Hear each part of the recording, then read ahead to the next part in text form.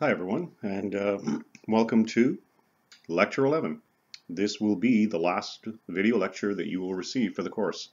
In um, Usually in week 12, we just hand back things and we chat or what have you, uh, and obviously hand in the papers, uh, late papers. But um, because we're doing all this electronically, right, there's no need for that. So as I said, this will be the last lecture of the, of the, uh, the term. All right? And it's not really a lecture today. As, as, you can see from the title, you've got the notes, I sent them to you. We're just going to do some reminders. That's all. Things to, to keep in mind because your final paper is worth 30% of your overall grade. That, that's a big chunk, right, when it, when it comes to uh, the grading. And so I just want to make sure you know we're all on board. You, you know what I'm looking for. Although I think by now, that one point I want to make very clearly, you you might want to take advantage of the late uh, option only because I don't know how much of my feedback from the final paper is going to help you. For Well, it's not for this course. That's why I put so many comments on your outlines, especially on the second outline that was worth 25%. Because I figured if I have enough feedback, if I give you enough feedback on the outline, then you'll be able to incorporate that into the paper. Obviously, the choice is yours, but I realize that as we get closer to the end of term, you're going to have a thousand things due, right, in other courses, right, as well as mine. So feel free to take advantage of that. You know, if you if you think you could use the extra time, the extra time can never hurt, All right. Again, your call, your call. Um, but but I will I'll certainly understand. Don't worry about that. All right. Okay. So today, uh, what 25 minutes, maybe half an hour at the most. We're going to just talk about the key elements that, that, that, we want to remind ourselves of. Okay, what's the title of the, of the lecture? Reminders. But we want we want to think about the key elements, right, that can get you the highest possible grade. Right. So that's what we're going to do. Only four pages, right? So as I said, we'll see how long it takes. All right. And so let's start at the very beginning. Okay, where else would you start but at the beginning? Your title. Now, ironically, your title is something you won't be able to write until you've written the paper right? Okay, I, th I, think I made that clear as well in the lectures, right? Like, if you come up with a title before you've done ever, anything else, well, it's kind of like creating your introduction before you do anything else. Remember, we talked about that? And so, but eventually, eventually, if you've done all the work that I've suggested in, in terms of the process of writing, if you've done all that, well then, your title should now more or less be a reflection of your thesis. So you, you reinforce to the reader, okay, what the reader will be reading and why. And so watch out for flashy titles. You know, the, uh, I think the word I used long time ago in the lectures was a grabber. Don't do stuff like that. Again, I think the word I used was that's high schoolish, all right? So instead, give a good strong title that reflects your thesis. They should work, you know, in conjunction with each other, all right? And so again, and, and the, the, the title will suggest will suggest the argument in the paper. Now, the title won't be a word for word okay, uh, uh, reflection of your thesis, right? You don't want to just write your thesis as your title, but I think you get the idea. But all right, okay. Then we move on. So now that we have our title, and remember what MLA style looks like. This is all on the same page, right? Remember you have all your information on the top left, your name, my name, right, course number and all of that. Then you have your title, okay? Then we get right into it. And remember, okay, we talked about this, tab. Tab your first uh, your, your first paragraph, even though I know MLA says not to. Remember, we talked about that. That was for an abstract. Okay, so watch out for that as well. Okay, good. So your introduction. Well, remember we talked about there are three elements in an introduction. Not three sentences necessarily, but three elements. And those three elements include a general opening statement. Okay. Again, if you've watched the lectures, you, there, there's really no need to email me saying, well, what did you mean by that? If you watch the lectures, you know exactly what I mean by that, right? So we have, I think we talked about feminism with a general opening statement. I gave you a, a few examples, right? And I think, I think, anyway. And, and make sure the introduction is one, one paragraph. Again, some of you have that habit of having an almost like an introductory paragraph before your introduction the preamble. Don't do that, all right? So we have our general opening statement. Then we have the sections we're going to work through. And again, each of again each of us has, has our own style as to how we go about that, right? Your sections. But again, I, I've made that so clear with you guys, all right? And if you recall, where did we first introduce notions of sections? It was actually in your first outline, in a weird way. Remember, right? Then you were supposed to incorporate that into your paper. Okay. And then finally you have your thesis. And we talked about the idea that, like I said, each of you have, has your own style. Some of you like to blend the sections and the thesis together. Some people like them separate, right? I like them to have them separate, but again, that's just a stylistic thing. So remember, as long as you have all the elements in your in your introduction, then you're fine. Okay? Now the thesis, and this is something I noticed uh, probably, I'd say half the papers, half the first set of papers, didn't really understand the thesis, how the thesis really works. You have to come up with something on your own that answers the question, and now notice I have it bolded here, that answers the question, why? Why does a particular thing happen in a story?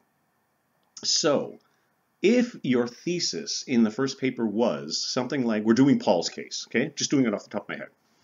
We're doing Paul's case, and your thesis was, Paul is a troubled individual. See how that, that that's not really getting at the why.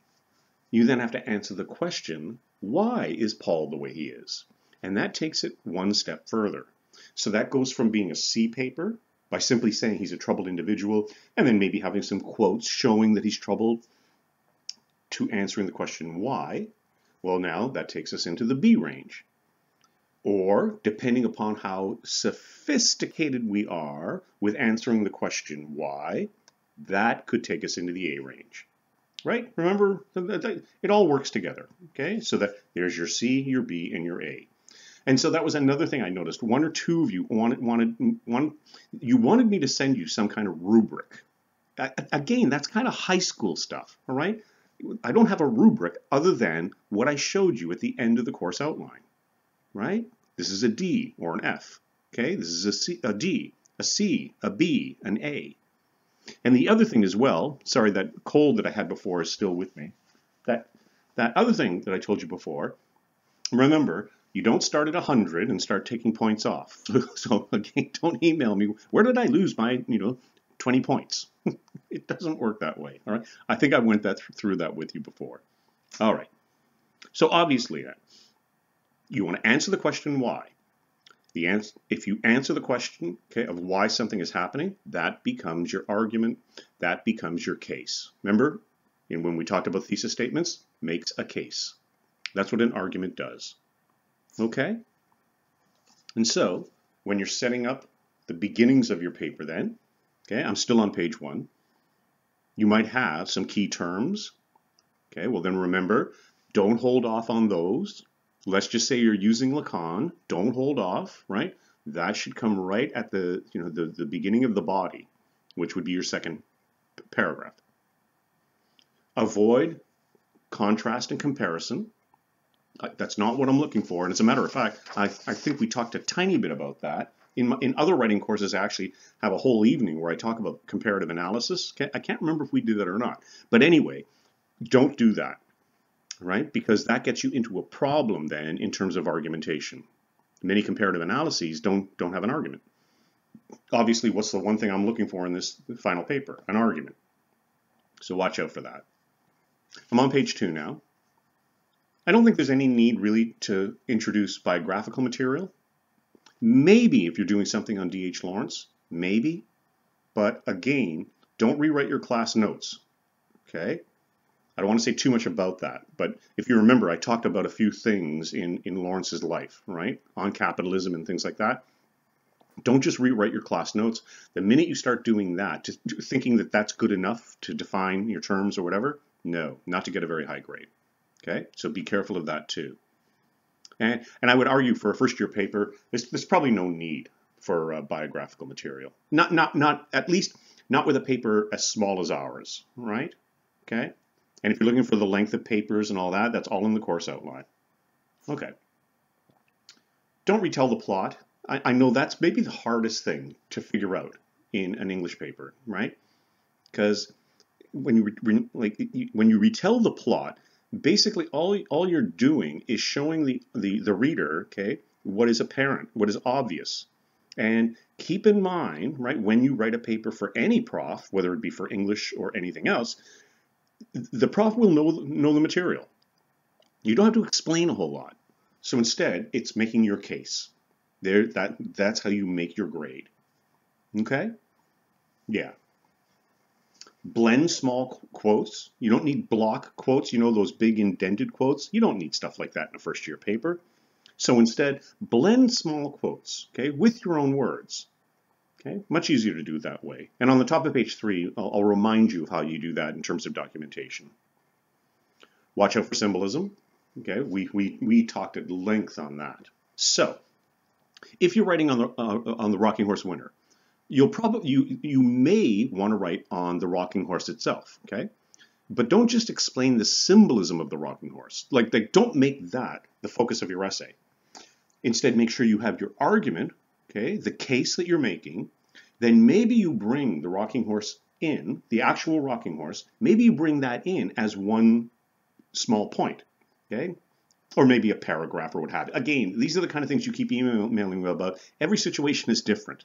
So, so I can't give you one definitive answer of how to do that. But for the most part, you can bring the rocking horse into it, but don't make an explanation of all the symbols in the story your entire paper. Do not do that. Okay? Okay. And so instead, yeah, maybe the rocking horse adds to, okay, why something is going on. Okay? And again, again I, I could give you a thousand different examples, but we've been through it when we did the lecture. And so, yeah. So how does that symbol then reinforce an underlying theme okay, that you were able to figure out. And the underlying theme, that's your argument. Okay, so that's kind of how it works for all that. Again, I know I'm repeating myself, okay, just reminders. Okay, and obviously, yeah, that, as you can see here, that takes a bit of work on your part, doesn't it? Right? Asks you to go beyond the story. And you got to remember again, so obviously there's a difference between a C paper and an A paper. The C paper, you probably don't have to put, you really don't have to put in a lot of time, right? An A paper, you do, right? And I think I think we began with that when I was even doing the um, the course outline. Okay, the very first day that we met, I, I was talking about that. Remember how in high school, if if your English teacher liked you and all of that, it doesn't work that way here. Okay, or at least it doesn't work that way with me. Okay, like I don't I, I don't play favorites or anything like that. And so, all right, so let's think then just about a bit of style now, okay, the sections of the argument. We're just going to get a bit more specific, that's all. So remember to be consistent, okay? Um, and that was something I talked about in lecture 10.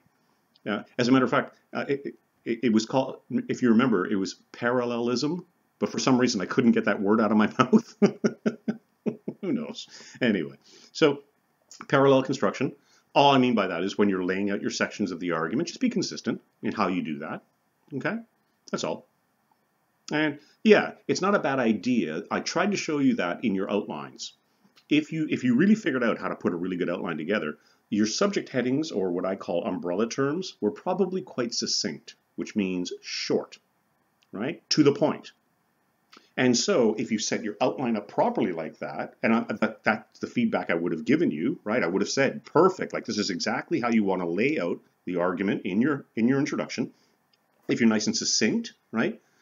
Then the introduction, as I said, the, the, the diction, okay, choice of words, all of these things come together nice and clearly, okay? Succinct, short, right? To the point, to the point, okay, is the best way of thinking about that. All right? definitions, we had, what, an hour on that? Okay, maybe not quite an hour, but I think I showed you exactly where definitions go. Okay, hang on a sec. Hmm. Ah, sorry about that. Yeah, this cold has been driving me nuts. Anyway, and so, yeah, with definitions, any theory, again, you know, something you used or took from another course, or the Lacan that I showed you, or the Freud, or whatever, get that up in the paper. Don't wait till the end of the paper. Because now that you have your own argument, well, then those other individuals help you to create a foundation. Okay? And that was probably the word that I put on either your first or second outline. Okay, what is foundation? What is the foundation? Okay, so um, so so remember that one. That that's really important as well. Okay, so don't hold off on stuff like that. All right, get it right up there. Not not in the introduction, not in the introduction, but right in the first paragraph after the introduction. Okay, so your second introduction, first body paragraph. That's where all that goes. And and then you start to blend, right, with the primary text and all that. All right. So, so there's the balance right there. You don't want to spend too much time on the theory. Again, pretend that I know the theory. Even if it's something I've never seen before, even if it's something that maybe I, am not familiar with, don't worry. Go ahead and use what you need in order to make your argument. Okay? And I, I think I made that clear as well in the, in the course.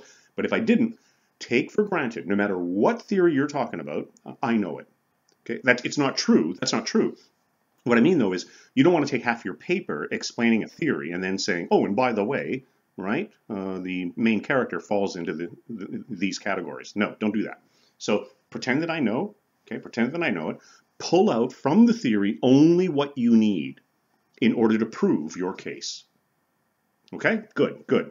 I'm, I'm, glad I made that clear because that can be a problem sometimes, especially on the second paper, where we try to do too much, right? So again, pull out what you need, pretend that I know it. Okay, but but it's crucial that you pull out the proper quotes. Okay, even if I'm not familiar with the material, you still have to pull out the proper quotes from whatever you're dealing with in make sure they apply to whatever argument you're making. Okay, yeah, that that's important. And then remember, the more specific you are, if you're using, say, a key term, and by the way, the if you're using a term for a first year paper, Oxford English Dictionary, that's good enough. All right, good enough. Later on, if you remain in English, it, it, you have to go beyond that, okay? Um, and that's where we talked a bit about reference texts and all that. But for a first year course, we won't worry about that. If, for all of you, regardless if you're an English major or not, if you have a definition that you, you, you need, Oxford English Dictionary will probably do the job. But again, make sure you get the right definition. Remember, I talked a bit about that too. You don't want to be general with your definitions, even if it does come from the Oxford English Dictionary. You want to make sure you're choosing the definition that really applies to your argument. Okay? Good. Okay? I'm, I'm glad we're doing these reminders now. This will help you to put your paper together, I think. All right? Good. Okay. Quoting, well, we talked about that. And I would hope by now we don't have to worry too much about that. But just make sure you properly document your sources. But remember that I also gave you a bit of a break because we're doing this online, I said, don't get too hung up on if it comes from a collection, go ahead and just put Lawrence 408. Go like I know it's I know it's not 100% the proper way of doing it, but because of circumstances, it would take us forever to figure out stuff like that unless we were actually in the classroom, right? So go ahead and feel free to do it that way, right? You can so and you'll see that at the top of page 3, you'll see what I mean. Yeah. Just want to make sure. And obviously, if you want to get a passing grade, or at least you, if you want to get more than a D, you want to have quotes from at least the primary source, meaning the short story. So let's go to the top of page three now. Yeah, I had a funny feeling it would take about 20, 25 minutes. We'll have some closing remarks as well. So there it is, all right? I uh, double checked this before I did this lecture. And in fact, the most up-to-date MLA, okay, I, I literally, 20 minutes before I started doing this lecture, I went to the MLA, and that is how you do it. So you have the author last name and the page number. Okay, it's nothing else. Obviously in parentheses. And I showed you in paragraphing how there's about three or four different ways you could do that. If you remember I was talking about Wordsworth, right? So if you're unsure, remember I was suggesting if you make it clear who's doing the speaking and where it's coming from, right? And, and it, not let, let, me put that another way. If you make it clear where the quote is coming from, so by saying Wordsworth once stated, right, and then you give a quote, you're allowed to just put 22. Okay, I hope you all understand that. If you watch the lecture, you should. Um, and then there were a couple of other ways as well. Remember, I suggested that it's, it's almost as if MLA kind of shifted a bit towards the way APA does it.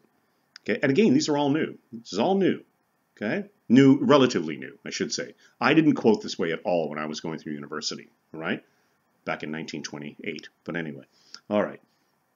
And so there's an example I give you there. And as I said, I double check this.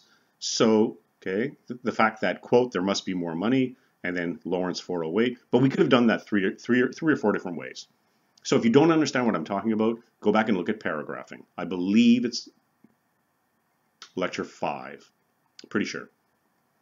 Okay? And then in lecture 2, go back as well. If you have questions, notice before I get to that bolded element at the bottom, the, the difference between arguing and explaining. Well, if you still don't haven't quite gotten that by now, you'll find that in the lecture on on uh, analyzing literature. So that would have been probably week two, I think. Remember we had, it was a bit top heavy at the beginning of the course where it was all, uh, like I was sending you two lectures at a time, okay? So the week two or three, but but it's right there. Like like all, all you have to do is look on the course outline where it says analyzing literature and then correspond that with the, the lecture number, mm, right? It's all clear. Okay, all right. And so that's almost it. That's almost it. Let's finish off page three and page four, and then we'll just have some closing remarks, okay? There are three elements that go into any strong paper. There's you, there's the short story, or what we call in English the primary text, and then maybe secondary material. And all I mean by secondary material for English simply means your research, if you happen to do any. So,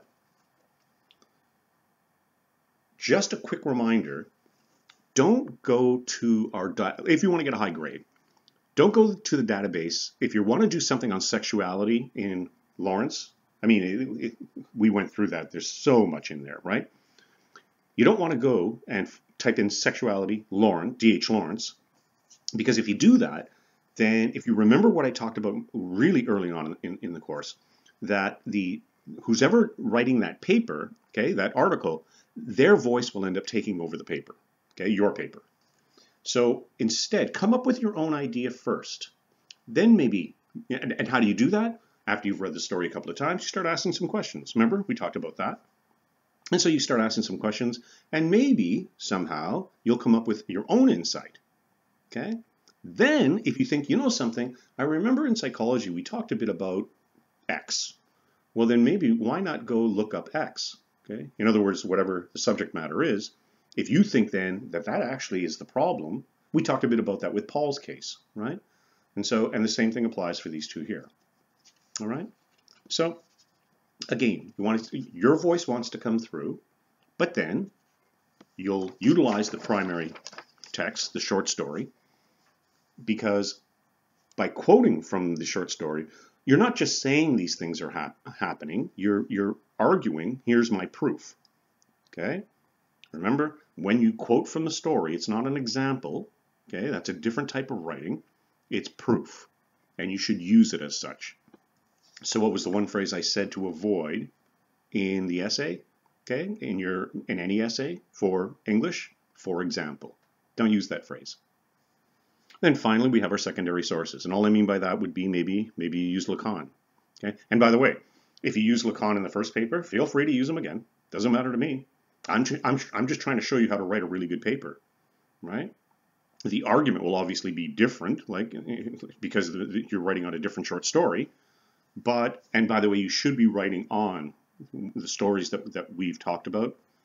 Um, and so, as I said, feel free to use Lacan. Okay, if you want to use them twice, that's fine with me. I don't care. And then finally, though, don't let the secondary material, the, your research, don't let that take over the entire paper. As you can see, the sun is starting to come through again, so I have to I have to hurry up at the end of this lecture, right? Oh no, I was able to block it out before. Remember? Anyway. And so, yeah, so watch out for that. If you're using theory, that's fine. But again, make sure your voice is pushing it along. And so, um, finally, you have your work cited. And if if you're still a bit confused on the works cited, well, remember, I, I have that sheet for you on CU Learn. Remember, the, the, the, there's a, a page there where it shows you how to cite different things. So make sure you have a proper works cited at the end. And obviously, if you are going to get a, a better than a C in the course, right, then you will have a work cited because you will have cited from certain texts, um, at, a, at a minimum, the short story. And so, um, yeah, only cite, only include in the works cited works you've actually quoted. Okay. I know when you do reference reference sheets and all of that, it gets a bit more sophisticated. But for a first year course in, in English, that's all you need. Actual things you've cited. Okay? And I think that takes us from the beginning to the end, right? We start with the title to the work cited. That's the paper. That's the entire paper. And so, just a couple of closing remarks. Um, it's been a struggle for all of us, for all of us, right? You guys especially, right? But it, but it's been a struggle for for profs at the at our end as well, for administration, for for so many different things. And so, I hope I hope I was able to take you through the course and I was clear enough in in my direction because as I said, online learning can be can be well, there's a reason why they call it distance learning, right? You really do feel like you're at a distance. And so um, I just want to close up by saying good luck, not only with the final paper, not only with this course, but with the rest of your academic careers. All right? We don't know the future. We, we, we don't know, right, when things will. I hate using the word normal because I don't know if we'll ever go back to whatever normal means. Okay? Uh, I, would never like that word anyway. Uh, but, but, but good luck, right? And um, I, I think I think for the most part, you know, things will will settle down. Maybe that's the best way to say it. It's amazing how people can adapt. All right, but if you are struggling, as I said, um, there are there are outlets. I gave them to you, right, for you know various various things, and they're in the outline. Call those numbers. There are people at the other end. All right, there are people at the other end. They may not yet be in an office, but they are there are people at the other end of those those those phone numbers and they can help you in you know in, in a variety of ways. So as i said maybe just in closing as i said i like a bit of closure when it comes to the end of a course. I don't know why. So good luck. I hope you enjoyed the course right? And again good luck with all of your academic endeavors. Okay? Thank you very much. All right